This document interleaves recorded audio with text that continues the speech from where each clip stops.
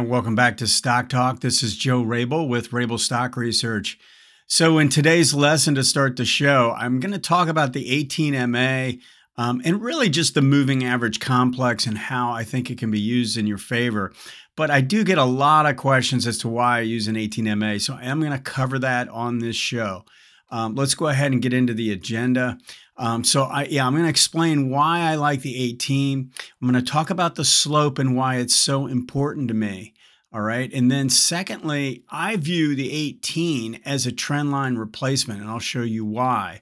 Um, and then finally, when you use it in conjunction with the 40, it gives you a really powerful visual look that can quickly identify which are the strongest stocks uh, and which are the strongest trends to be playing. Once we're done with that, we're going to go through the uh, individual symbols requests that came through. Let's go ahead and get going with this lesson. I'm starting out with a chart of the QQQ because I want to show um, a couple different things, and I, I, wanted to use something that's a little bit more volatile uh, and actually not going to necessarily give like the perfect examples because you don't the, the, moving averages can be messy all right? You don't it's a moving line. It's not a straight line. It's not a firm line. It has a little give to it. So you have to accept that if you're going to use a moving average. It's not a perfect uh, instrument from uh, from any stretch of the imagination. Now what I've done on this chart, I've I get so many questions as to why I use an 18 rather than a 20. Okay. And um, in fact, what I'm going to do very quickly is just uh, turn off the 40. I want you to just see the 18 and the and the 20 together. The 18 is the magenta color, like pinkish color, and the 20 is the uh, green line as you can see, when I tell every single guy that emails me about this, uh, you can use a 20 if you'd rather use a 20. It doesn't, it's not a big deal. The reason why I use the 18 is because you will see shifts in the um, slope a little bit more quickly. It'll it'll adjust a little bit faster at turning points. In most cases, you'll get the the slope going um, turning to the upside and officially being an upslope, being going from a downslope to an upslope more quickly. That's the one thing. And so, if you see what's going on right now in the QQQ, this this line is most likely going to shift, even if it's a couple days. It's going to give me a little bit of an edge over the 20.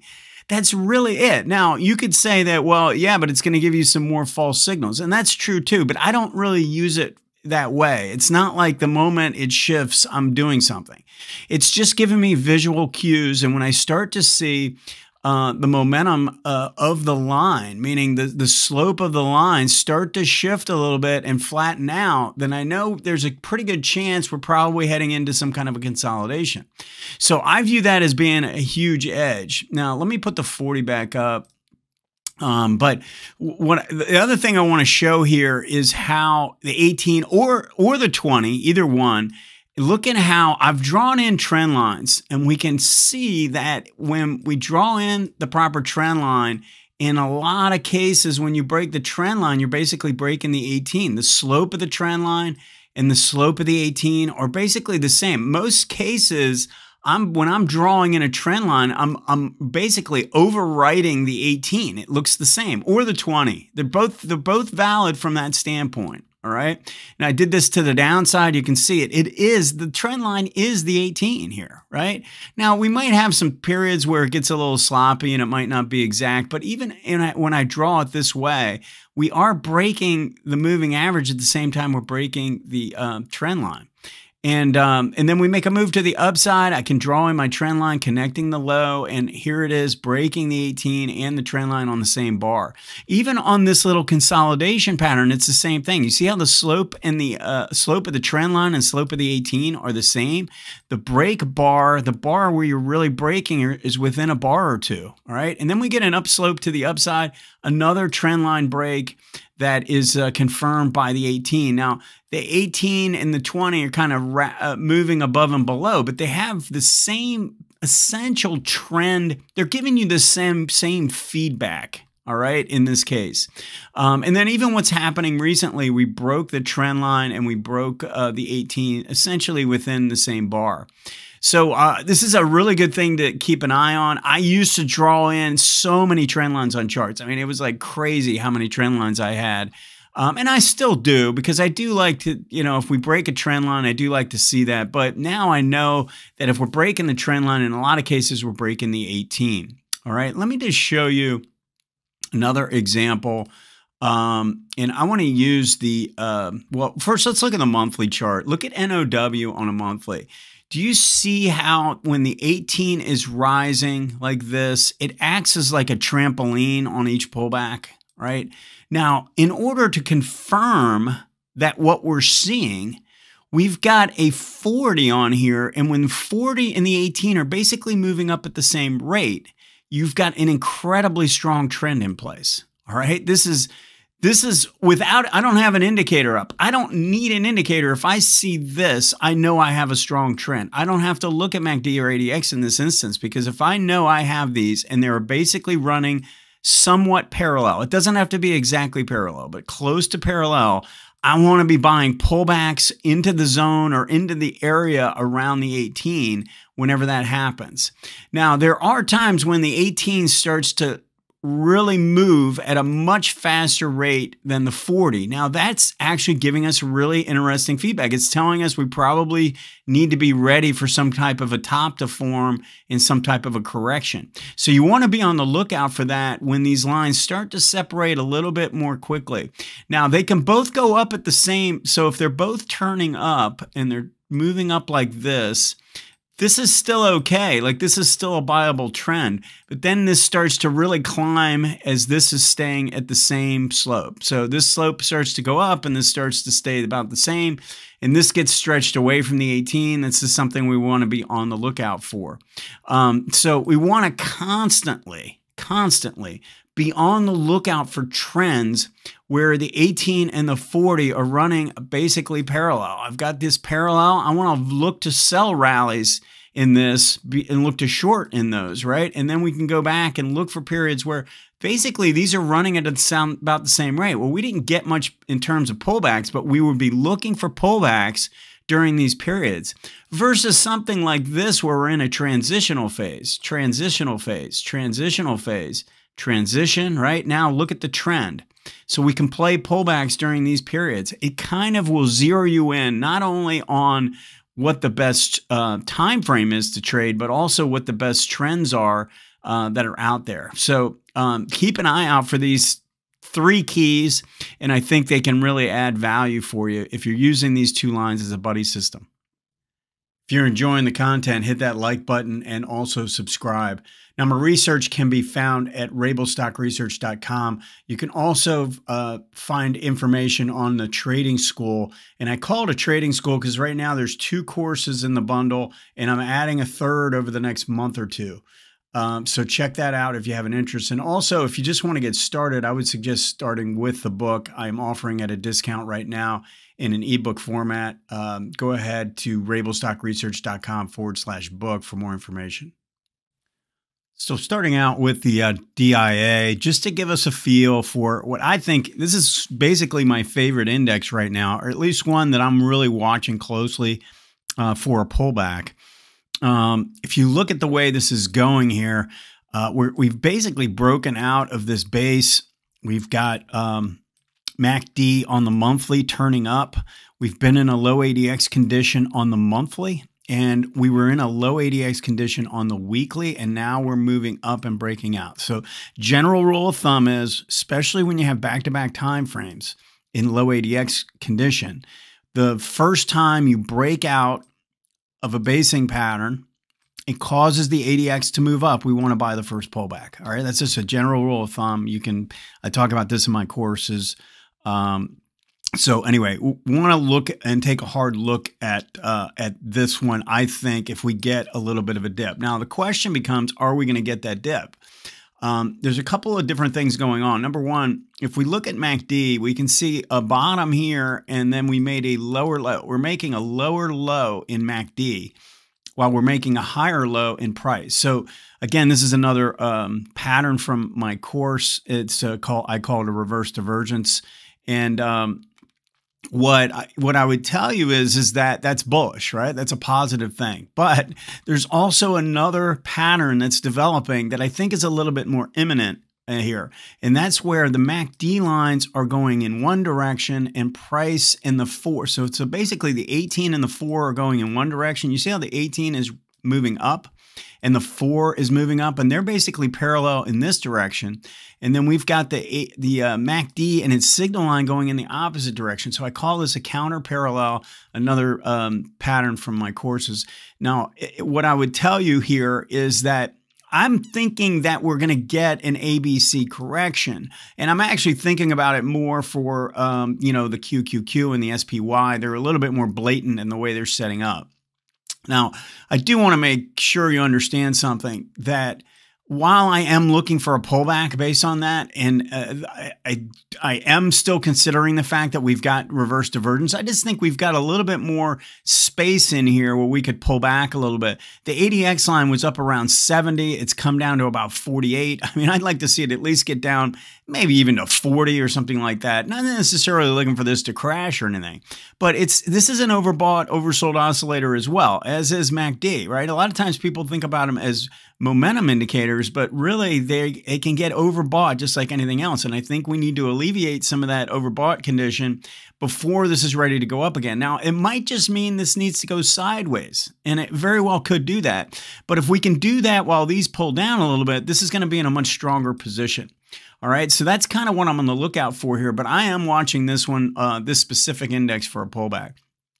Now, I don't necessarily feel the same way about the QQQ. I'm not really looking for a, you know, like a pullback to play. It's not, you know, like you think about it, the trend shift was down here. This is really where you wanted to be a buyer if you're looking at getting in early, which is what I think the the DIA looks like to me. It looks like you're getting in early if you buy a pullback, if uh, if it can pull back here.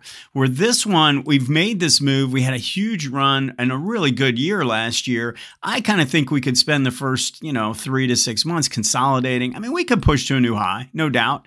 But is it going to start another move like this or like that? I don't think so. I'm not, I'm I'm not in that camp right now. And I think right now, one thing we just need to be on the lookout for, as I mentioned in the lesson, we have broken the trend line. Now we're coming up the test. So we've got the two here. We we had the one is the trend line break, two is the test. Now, if we come back down through here, we've got some presumptive evidence that the, the trend is trying to shift back down and probably just come down and test support um, down in here and a little bit work it a little bit closer to the 18 week line. I'm not really calling for any kind of a big reversal, but maybe something on a shorter term basis. All right, let's look at IWM. Uh, this is a little bit different because this didn't have a big run to the upside and this didn't break out. So this is not the Dow and it's not the QQQ um, because it didn't have a good year last year. And uh, the Dow Jones has already broken out. This one hasn't quite done it. But look at what's going on we're, we're definitely showing signs of life here with this move to the upside. Okay, we've got some pretty decent action in MACD. And the reason why I say that is we've created some separation between MACD and the signal line that's allowing for this to pull back, and yet the, the MACD is staying well above the signal line. I view that as a good sign. I also like the fact that Green DI is breaking out above all these highs. It's at the highest level that it's been in a very long time. Um, look at the volume pattern. You see a strong volume to the upside and then the light volume on the pullback. These are all good things. We need confirmation with a higher low. Almost look at it like a little cup and uh, handle almost. It's not exact. It's a little sloppy. But if we can come back up through 200 and break out again, especially if we get the relative strength. Let's take a look at this relative strength. Started to perk up a little bit. We want to see this relative strength line also kick in, turn up, and confirm what we're seeing on a price basis. If we get that, we should start to feel pretty good about this. And I do believe that will improve the overall market condition out there for us trying to pick names, um, play stocks, and especially on an over, say, an intermediate term basis. All right, now I got a request um, about looking at some of these. These as a counter trend play in the uh, banking area. There are a couple ideas here I'm going to go through. And um, what I'll say here is so I'm going to kind of look at this as like a little mini lesson, really, because uh, I want to cover something I'm going to do on these next two stocks that, that could be helpful. Now, specific to this, I don't know that I'd want to play it on this specific pattern because we've got earnings coming. Really love how StockCharts will allow you to put the earnings right here so we can see 112. That's tomorrow. We're going to have earnings right before the market open. You see the BMO tells you right before the market opens. So that's really nice to be able to have that information. Now, if I if, let's just say earnings were like a month away. All right. And, and here's what we'd want to do. We've, we're looking at the weekly and we're saying, wow, this is a nice move to the upside, but it's not that powerful. And really, green DI only came up to where red DI was, right? Now, MACD has improved. And I'm not saying this hasn't improved. This is showing a lot of improvement. But could it come back and test a little bit more? Could it form some kind of a retracement if you wanted to play a reversion trade back towards the mean? And I would tell it back towards the weekly mean. And I would say you can definitely do that. And the way I would go about it is once I have the separation, I'm going to go to the daily chart and I'm going to look for signs where the momentum is dying. If you look at what happened, we broke out here, but look at what the MACD did. The MACD actually not only didn't getting confirmed by going to a new high, it actually made a lower peak below the signal line. I call this um, a divergent pinch play. Okay. And if we get um, a pinch in that doesn't cross the signal line, we should be on the lookout as it reverses back to the downside. We're getting that. So that's the play. Now, the way I would handle it is because this strength, there's so much strength on the ADX on the daily chart here, I'd want to time it off the hourly and keep my risk a little bit tighter. So I think what I would do is um, probably be drawing in this trend line as this is breaking out. Remember, this is where we're getting the divergence showing on the daily chart. So I draw in my trend line, and basically this big red bar down would be a signal. And then the second one would have been the pinch play here, but it ended up opening up via a gap. But still, you'd be looking at it here or on this big red bar coming down. Those are the two entry points to use, and it's basically a three time frame uh, play. We've got um, a break of the eight, uh, a, a failed new high with divergence taking place not only on the MACD but also on the DI lines. I want to see that as well. And uh, where green DI does not confirm. And then we go down to our hourly to time it. And then the target would be, in most cases, would be coming down a little bit closer to the 18. I don't know that that's going to happen on this one. Let's just look at the COF. This is the other example. Now, this one actually has a little bit more time.